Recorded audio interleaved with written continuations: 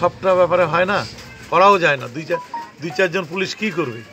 ওদের ষাট সত্তর জন ছিল, ওদের হারমাত ওদের লোক হয় নাই। আপনারা দেখছেন কোথাও লোক হচ্ছে না।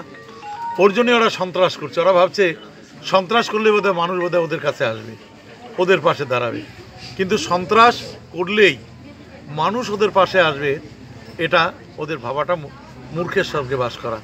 তাই আমরা বলব যে মানুষ সংগঠিত হোক সব মানুষ জোট বাঁধুক, এই সন্ত্রাসকারী, এই খুনির দল সমাজ বিরোধীর দল এবং এই দাঙ্গা সৃষ্টিকারীর দল, এই দলের বিরুদ্ধে মানুষ জোট বাঁধুক, জোট বেঁধে প্রতিবাদ করুক।